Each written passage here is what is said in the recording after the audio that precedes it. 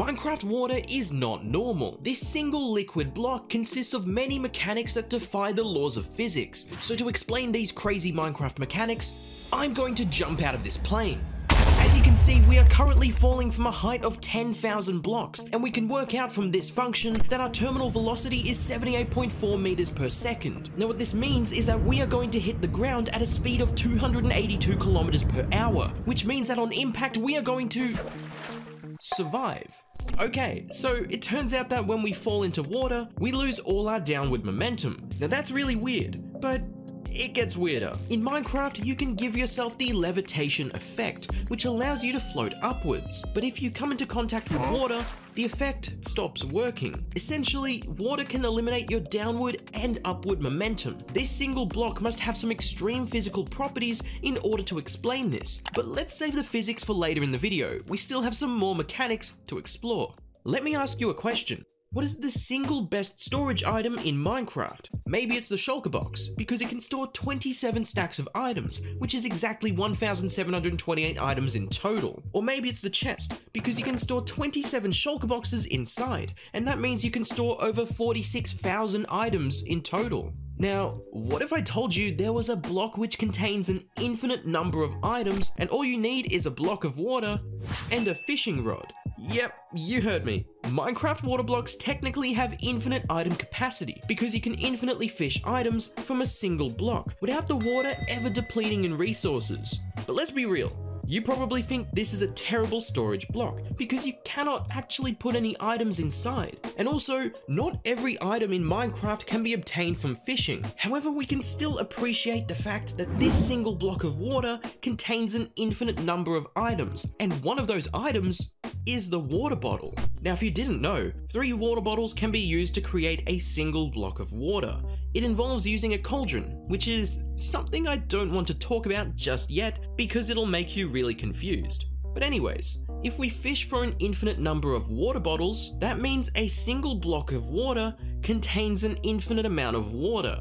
Well, this is to be expected. Whenever you start dealing with infinity, you are guaranteed to find some interesting results. In fact, this brings us to the next gameplay mechanic that we can talk about.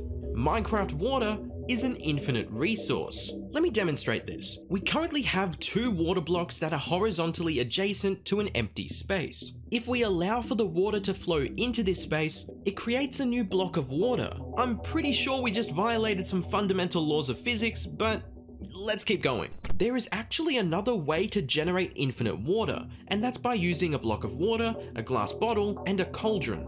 First, you fill up your bottle from the water source block. Then, you empty the water bottle into a cauldron. Repeat these steps two more times and you will have a full cauldron. Now, you can take the water out of the cauldron and place it down. Now congratulations, you just made a block of water.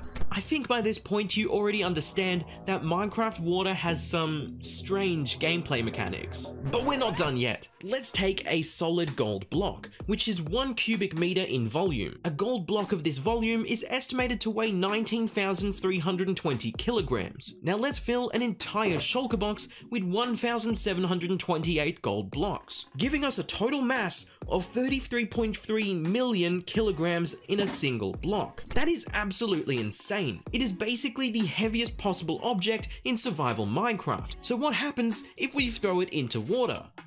Well, it actually floats. Now, if an object with a mass of 33 million kilograms can float on top of a liquid surface, then this liquid must have an extremely high density. And I got really curious, so I spent a full week trying to learn fluid dynamics to determine the unknown mass density of Minecraft water.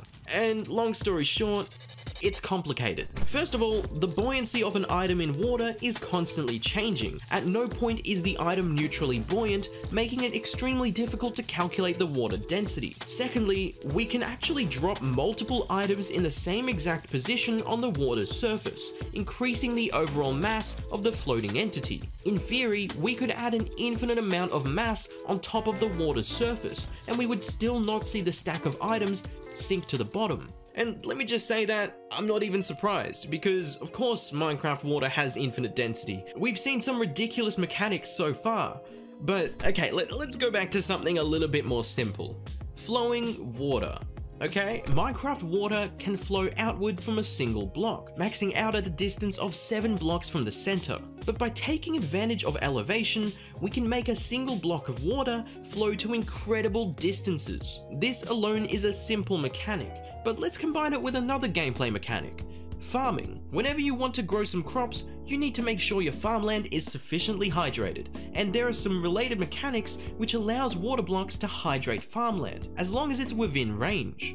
Now, here's the question. How many blocks of soil can we hydrate using a single block of water? Well, if we take advantage of this outward flow mechanic, we can hydrate thousands and thousands of farmland blocks with a single block of water. I actually did the math and created a formula which can determine how many blocks you can hydrate given the number of layers that the farm is built on. Now, this formula only relates to this design right here. It was the most efficient one I could come up with and it was very simple to model. For the first layer, we can hydrate 128 blocks. If we add a second layer, we can hydrate 400 blocks in total. Now, if we were to build a farm that extended from the bottom of the world to the max build limit, we can hydrate 10.6 million blocks of farmland using a single block of water. So that's pretty cool. We could theoretically end world hunger using a single block of water and about 10 million seeds. Now I did say before that we'd talk about the cauldron and honestly it has some of the most incredible features regarding Minecraft water, you definitely want to see it. But before we talk about that, I need to show you a very scary Minecraft mechanic. As you can see here, we have a single block of water that is in no way connected to this piece of farmland over here. Now, if we were to speed up time a little bit, we notice that this block has become hydrated, even though it is physically impossible for the water to send over moisture to the soil. I honestly have no idea how to explain this. And okay, we get it. Minecraft water is completely broken. But what if we used a cauldron to store the water? Will we get some even more disturbing properties than what we've already seen? Actually, no.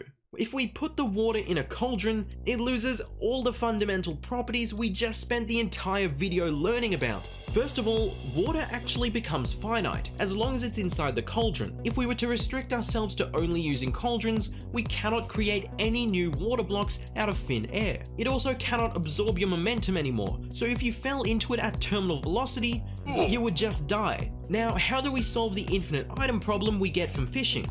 Well, it's simple. You just cannot fish inside a cauldron anymore. It's actually amazing. We now have a fluid that obeys the laws of physics.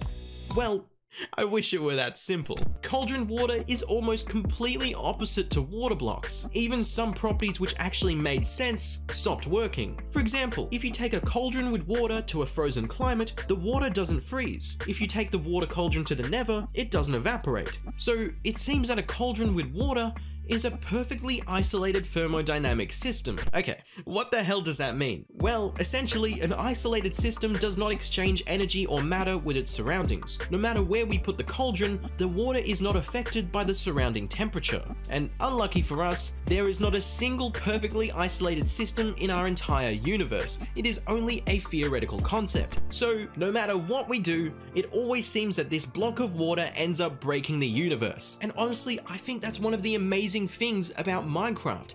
It isn't bound to our laws of reality. It's fun to compare Minecraft to the real world and to see where the similarities end, but it doesn't matter. People play video games in order to escape reality and become immersed in a completely different world, and it has taken years of development for Minecraft to reach this point. Now, if you want to see me break down the history of Minecraft development, you can click this video on the screen. I know it might not seem like a serious video from the thumbnail, but if you made it to the end of this video, then you'll definitely enjoy the next one. My name is Fizzy, and thank you for watching.